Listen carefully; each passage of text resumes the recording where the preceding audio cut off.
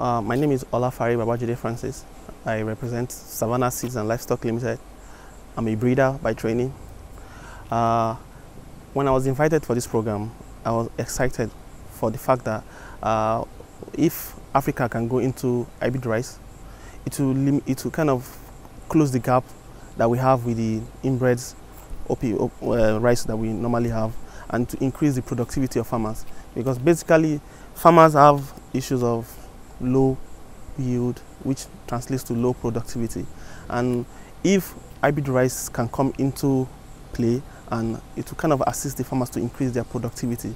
And for African rice and African development banks to go into the research of, of hybrid rice goes a long way to tell the vision and the aim and the objectives they have for the African continent at large.